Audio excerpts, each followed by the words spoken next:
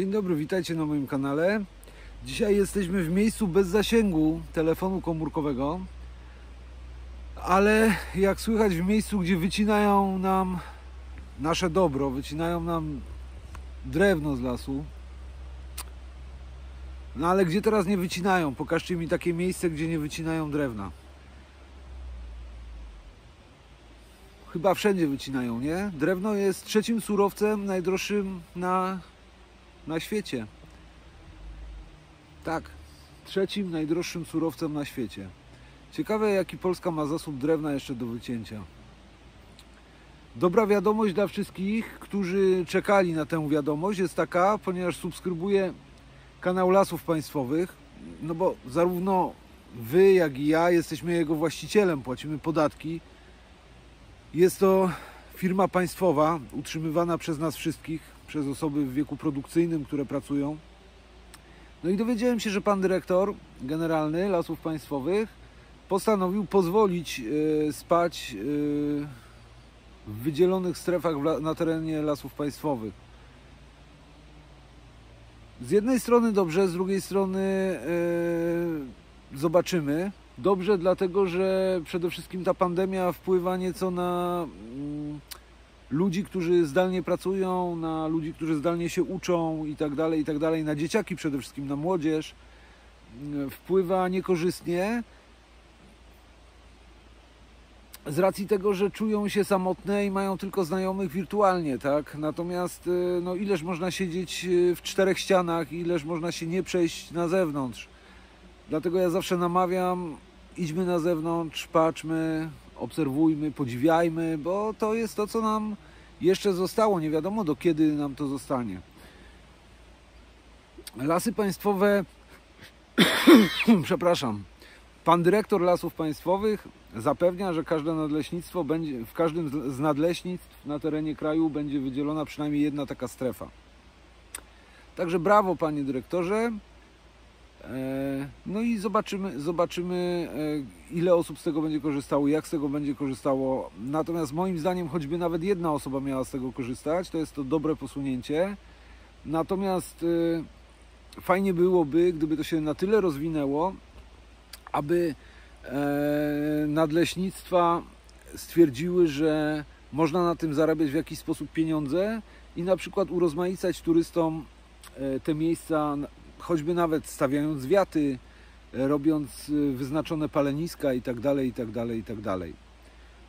Natomiast ja i tak zostaję wierny temu, że wolę iść w głąb lasu i spać w głąb lasu, w głębi lasu, niż y, być gdzieś tam na, na widelcu, nie? Chociaż dzisiaj, tak jak słyszycie, nie jest zbyt fajnie, bo, bo hałasują, ale celowo to zrobiłem, ten film, żebyście słyszeli, co nam grozi za niedługo. Co może nam grozić.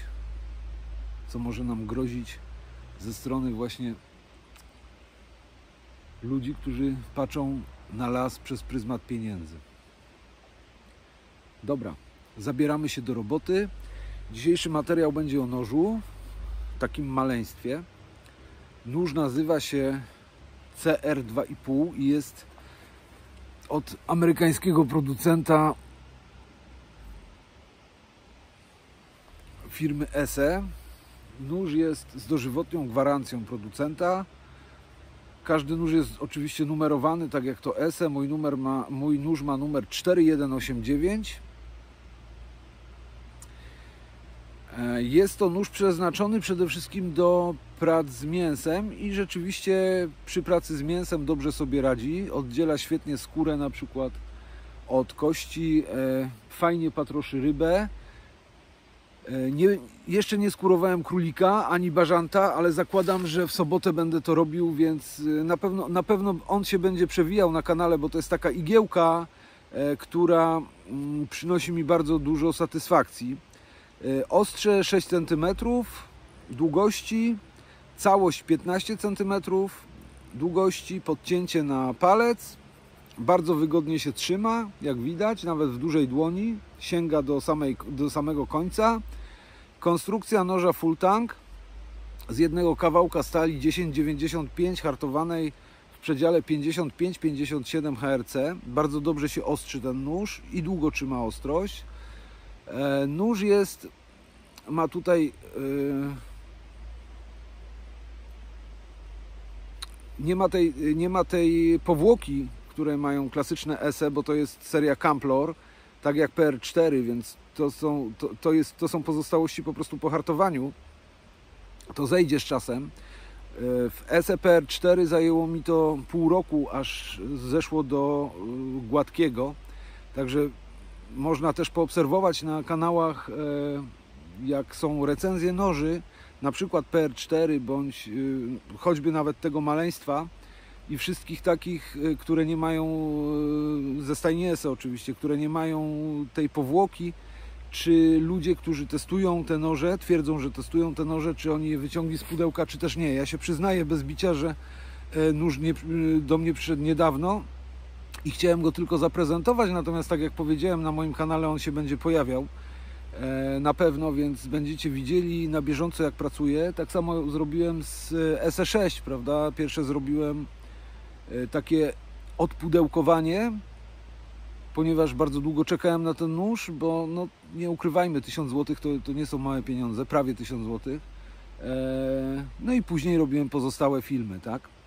6 cm, 15 cm, 2,5 mm, kanwas mikarta, śruby Torx, e, otwór na linkę rzemień, cokolwiek, zaostrzone na 90 stopni, krzeszę bardzo dobrze, z krzesiwem zaraz sprawdzimy. E, szlif płaski, full flat tak zwany, czy jakoś tak. Waga 61 gram, czyli tak naprawdę zaraz go porównam z Victorinoxem Camperem, którego namiętnie używam. Waga Victorinoxa Campera 700, 75 gram, czyli 14 gram jest sam nóż lżejszy od Campera. E, natomiast e, waga Benchmade'a Bagauta 54 gram, e, czyli jest cięższy o 7 gram od Bagauta. Jeżeli chodzi o ciężar, o wagę z pochwą, to jest zaledwie 101 gram. Pochwa jest z grubej skóry, 3 mm. Zresztą ESE dobrze wykonuje swoje pochwy. Noże się w nich tam nie, nie wylatują, ani nic się nie dzieje. Dobra, przechodzimy do jakiegoś tam takiego małego pokazu możliwości z drewnem, bo nie będę, nie będę oprawiał tutaj zwierzaka, bo to raz, że go nie mam, chyba, że mam jakiegoś. A druga sprawa, druga sprawa, że tak jak powiedziałem, ten nóż będzie się jeszcze przewijał y, na moim kanale na pewno, nie? Także jeżeli jesteście zainteresowani, to zostańcie, zostańcie ze mną.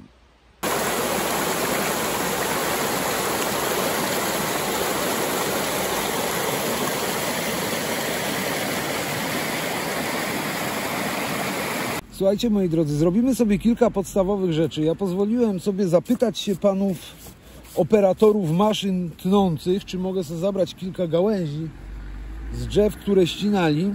Pozwolili mi na to. Tak więc tutaj mamy świeżą gałąź ze świeżego drewna.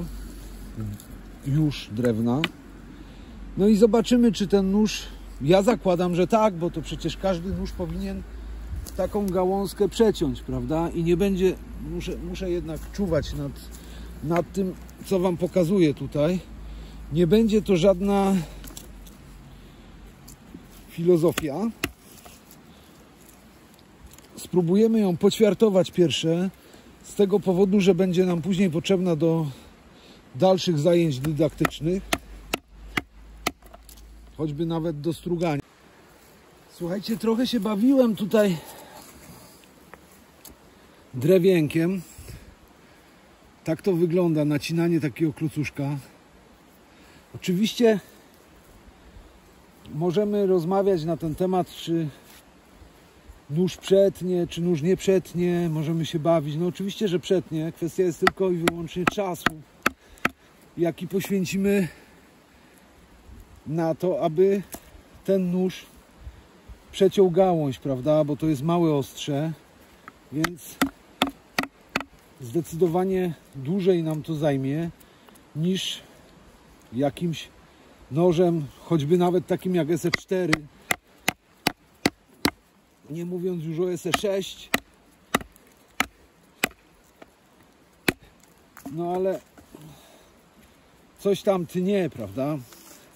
Więc od biedy, chociaż ten nóż nie jest dedykowany do tego typu poczynań, on to zrobi, nie? Jeżeli chodzi o batonowanie, no ten tutaj batonowanie tym nożem, no to też jest trochę śmieszna sprawa, bo nóż oczywiście przebatonuje, tylko pytanie, czy ten nóż ma służyć do takiej pracy, nie? No ale od biedy, jak widać, przebatonuje. Tu mamy jakiegoś starego świerka z sękiem. Spróbujmy go naciąć. Akurat się nam rozbił. Spróbujmy go przebatonować. Prze poszło przez sęk. Tutaj był sęk, jak widać. Weźmy innego świerka. Takiego.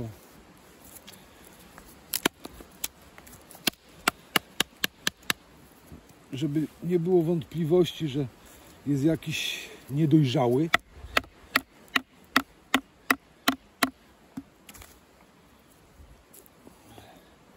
Też celowo robię to, co robię bez rękawic, prawda? Dlatego, żeby powiedzieć Wam na koniec mojej całej próby z tym nożykiem, czy ten nożyk odbija, czy też nie odbija, nie? Generalnie bardzo wygodny chwyt, ale to będzie przy podsumowaniu. No co jeszcze możemy zrobić? Możemy nie wiem, zastrugać coś. Wbijmy sobie nóż tak i spróbujmy coś postrugać.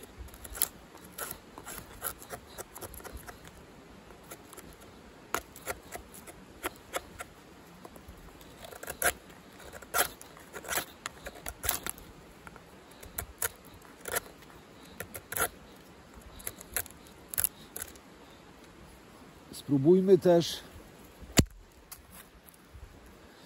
zrobić federsticka. Jak on struga w drewnie martwym. Może inaczej zrobimy. Przepołowimy sobie to tak, żeby było prościej. Przecież... O. I teraz możemy zobaczyć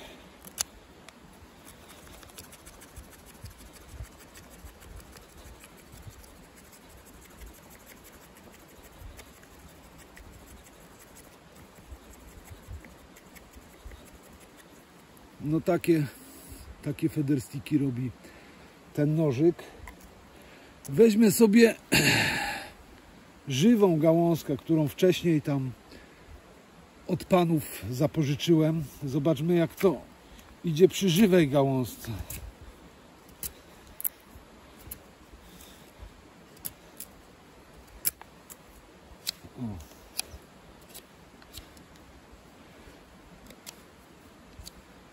Ktoś mi ostatnio mówił, Wojtek chyba, żebym pokazał jak się robi wykałaczki, bo robiłem wykałaczki ostatnio. No mniej więcej tak, nie?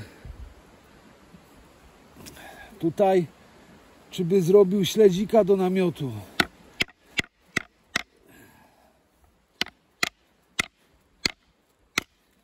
O, śledzik poleciał. Spróbujmy zrobić śledzika zatem, skoro tamten nam odleciał.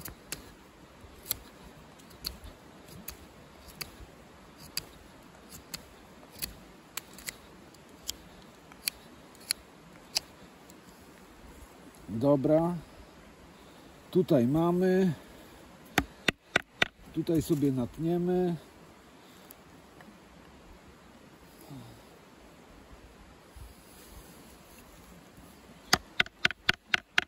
Tutaj też sobie natniemy.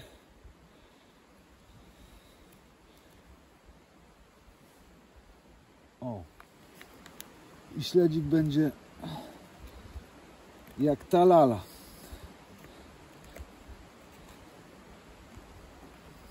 Tak myślę.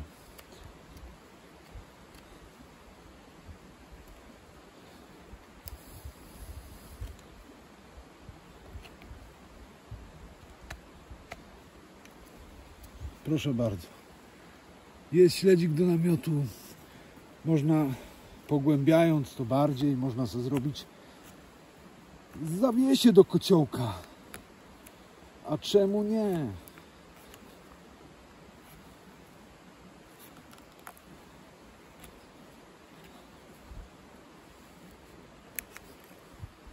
Proszę bardzo.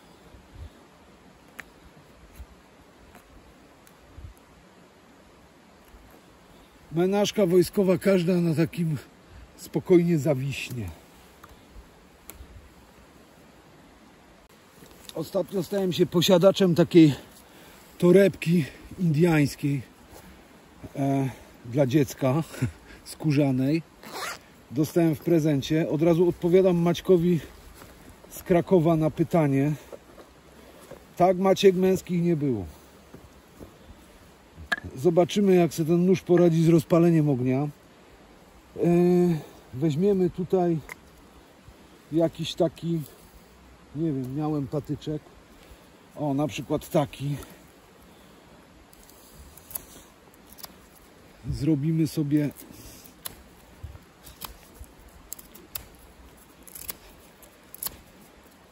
tak, że go obdubiemy. Teraz go przebatonujemy.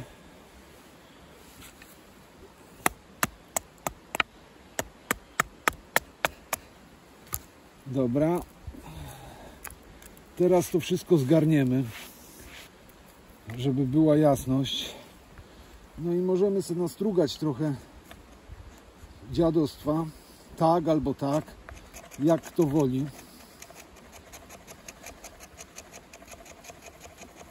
Myślę, że tak jest szybciej.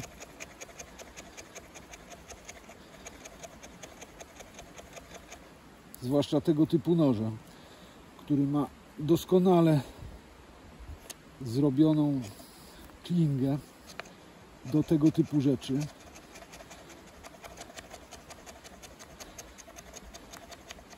No i zobaczymy, czy to w ogóle się chwyci. Jak się nie chwyci, to będziemy dalej działać. Nie?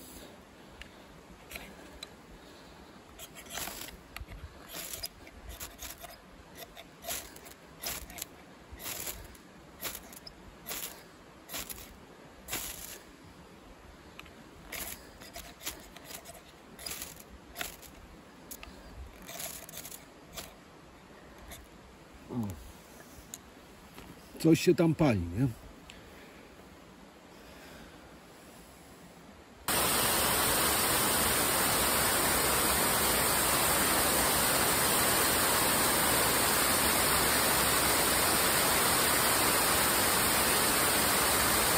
Teraz jeszcze trochę postrugamy na koniec, żebym mógł powiedzieć Wam,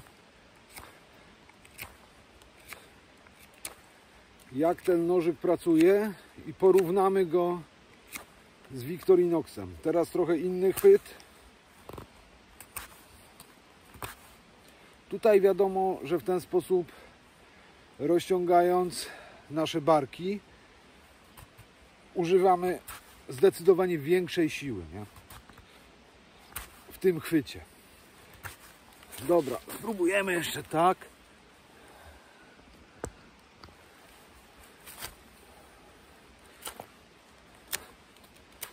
No i dla pewności jeszcze tak, że chwycimy ten ja chwycę ten nóż i będę tylko ruszał patykiem. O.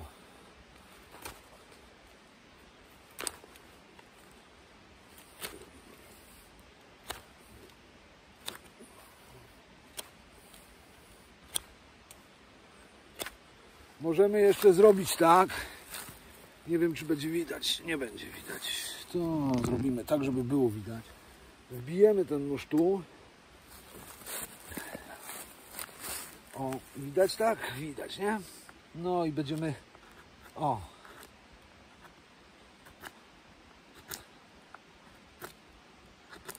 Jeszcze tak możemy strugać.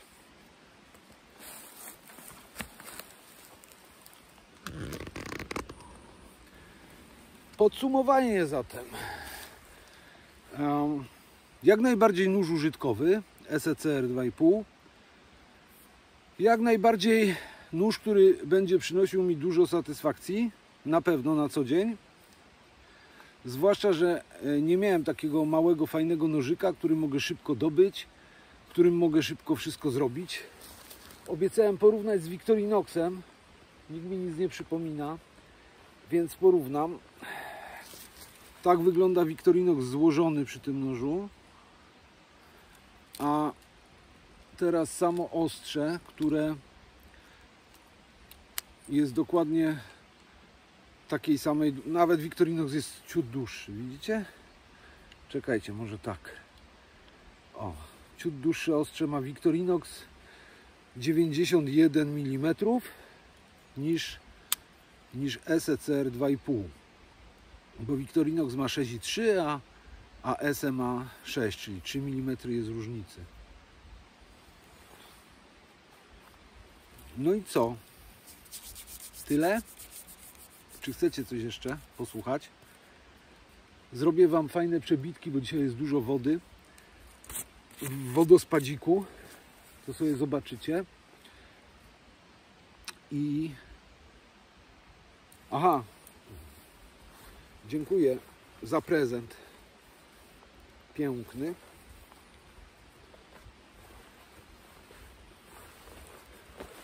Jako torba EDC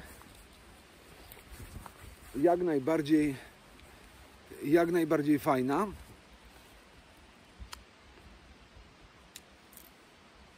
No i cóż, zostańcie w duchu. Zapraszam do lasu. Wychodźcie, wychodźcie z tych domów. Już pora taka, że lepiej już nie będzie. Za chwilę będą kleszcze, komary i każdy będzie miał e, wymówkę, że nie wyjdę, bo są kleszcze i komary. Teraz nie wyjdę, bo jest za zimno. Teraz nie pójdę za chwilę, bo będzie deszcz padał. Życie. Życie. A lasy państwowe otwierają się na Was. Nie ma żartów. Pozdrawiam serdecznie. Zostańcie w duchu i zapraszam do lasu. Zapomniałem zrobić jeszcze jednej rzeczy przecież. Rzecz dla magazynu znawców, nie? Po tej całej robocie on musi ciąć kartkę, golić włosy na jajkach i e, jeszcze później musi ten ciąć sznurek konopny. Co to jeszcze znawcy? Aha, no i później go położą na półkę i będzie leżał, nie? Bo będzie im e, ciężko wziąć nóż, który e, jest taki, a nie inny do lasu, nie? No a to tak dla znawców, więc po tym wszystkim nie ostrzyłem, tylko, tylko tnie kartkę. Pozdrawiam wszystkich.